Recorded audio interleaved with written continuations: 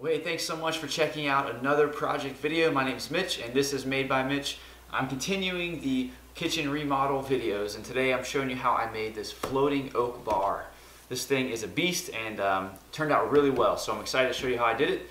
So let's jump in.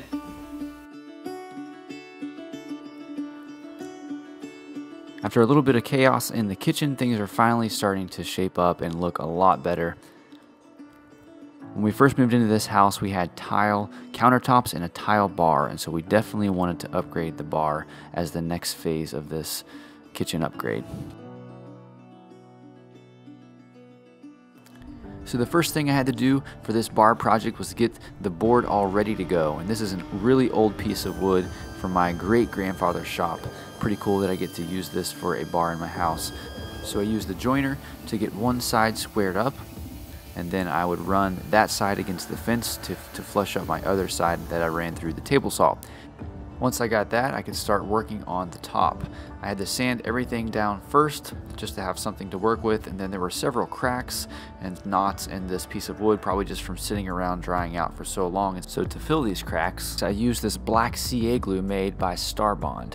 They sent me some products to try out, and I really do like the CA glue. It's a high performance adhesive, and this particular medium thick kind is perfect for filling cracks in wood just like this. You hardly notice that it's there, and it sands and polishes up really nicely. So click the link below to check out all their products and you can get 10% off site wide if you use the code MBM. So thanks so much Starbond.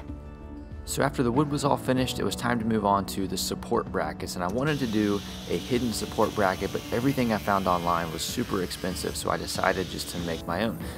And doing this was actually really simple. I just cut up some flat stock steel that I got at the big box store uh, using an angle grinder then I'm using a grinding disc here just to take the sharp edges off of the steel. I actually went in with some sandpaper and even got it a little bit better just so that way whenever I would go in to paint it, if the lines were nice. Um, so then I laid all the bars out where I wanted them to be uh, and then I marked them on the top of the wall here.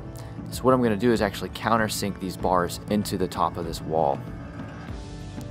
And so after that I just took the steel down and I kind of marked where my holes would be that I would drill into the bar. And so I used a drill press to, to drill these holes out. And then I went and used a countersink bit so that way when I screwed it into the wood, the screw head would be flush with the steel.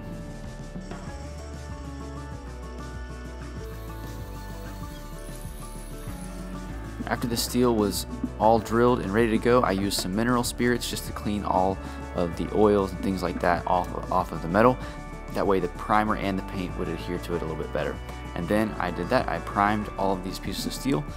Um, I think I put two coats of that on there and then I went through and I painted them black. And they turned out so nice. now things get really fun. I had to chisel out the top of the wall so that these bars could countersink down into them. And so what I did was I just use the chisel and I would take a little bit of material out and then I would check with the bar. I just I just kept doing this over and over until the bars sat in there perfectly and, and that's it. So there are a couple places where where I was putting the bar there were nails and so I actually pried the nails up and then I would use the chisel to go under the nails and then I just drove the nails in um, at the end. And make sure you're checking your level through this whole process um, so that way you know everything is going to be even and it wasn't as bad as I thought it would be, but this was a little bit more of a complicated part of this project. So all the metal is officially ready to go. Now it's time to focus on this wood. So after I got all of the holes filled with the Starbond adhesive, I went in and I sanded everything really, really well all the way up to 220 grit. I wiped it down really well with the tack cloth. Then I added a coat of pre-stain before applying the coat of stain. This is the first time I ever used pre-stain and it worked really well. It actually brought out the wood grain really, really nicely. And after applying one coat of stain, I went through and wiped everything off with a dry rag.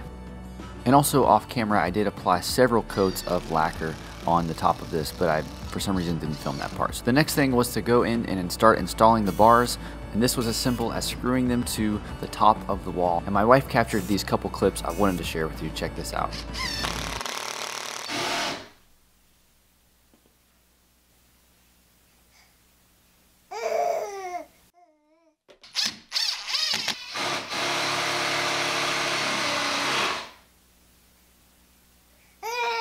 By the way, this is Ayan, the newest addition to the family, and this is his video debut.